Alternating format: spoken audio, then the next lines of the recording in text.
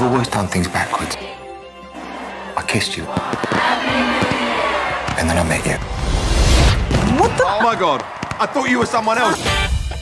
Congratulations on your upcoming wedding. I don't know how upcoming it is. You won't set a date. We'll talk about it later. Later. Later. Teddy, What is it with you and later? I can't do everything right now.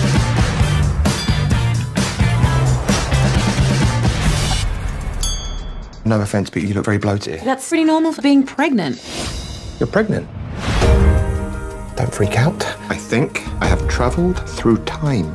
Yeah? Yesterday, we got married, and today. Say hi to Daddy. Here he is. Here she is. Are you okay?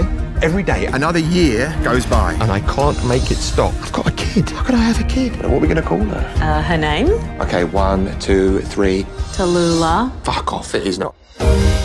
Happy anniversary. I don't know how you can forget the best day of our lives. I can't lose her.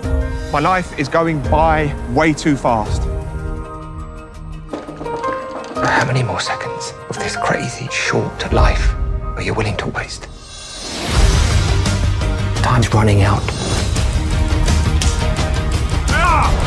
What is going on? Are you okay? This strange and I'm hoping gay man is in your house for some reason.